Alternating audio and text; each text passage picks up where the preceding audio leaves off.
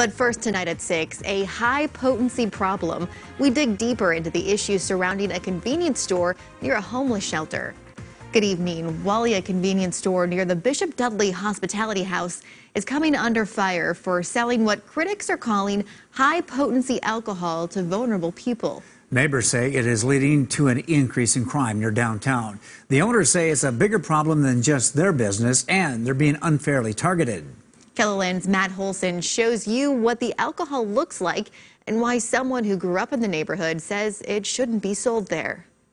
Pay a visit to 10th Street in Indiana and Sioux Falls, and it won't take you long to find cans littering the local businesses and people drinking alcohol right out in the open. Matt Walls grew up in the nearby Whittier neighborhood and says the area is home to an alcohol abuse problem.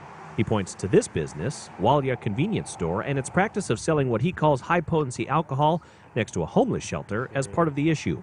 Walls is also a member of the South Dakota Alcohol Policy Alliance. A normal beer is about 4%, 4.5%. Okay. Um, these are 8%, 10%, 14% or more uh, ABV, but that only means that's only part of the story.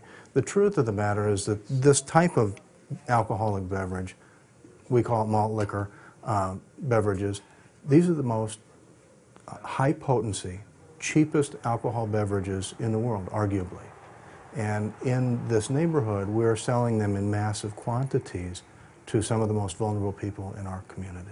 Walia's off sale alcohol license is currently up for debate with the Sioux Falls City Council. Walia spokesperson Michael Alamu says the business, which was started by an Ethiopian immigrant more than 10 years ago, is willing to change. We have not considered uh, doing away with alcohol sales, but what we plan to present is we uh, used to sell high. We used to sell high concentration, um, high concentration, uh, less inexpensive alcohol.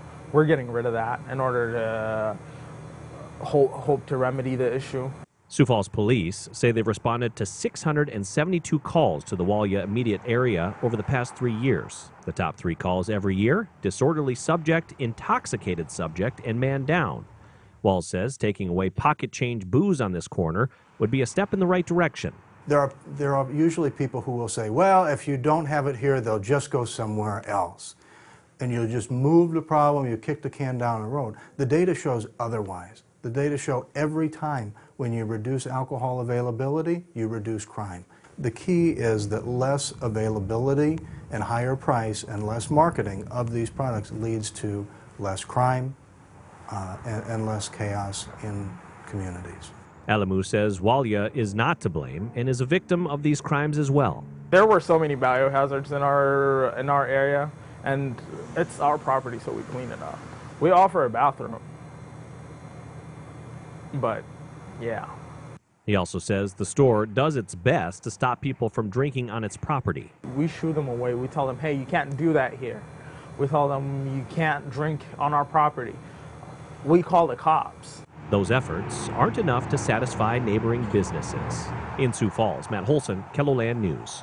And on tonight's Eye on KELOLAND, we're going to hear from two neighboring business owners about what they're doing to make things safer for their customers and employees. We'll also look closer at Walia and how it says it's focusing more on food for Ethiopian community, not alcohol. In a KELOLAND.com original, digital data reporter Rae Yost looks at the police reports around Walia convenience store. She looked over the data from three years to see what kinds of incidents officers responded to in that area. You can check out that report on KELOLAND.com right now.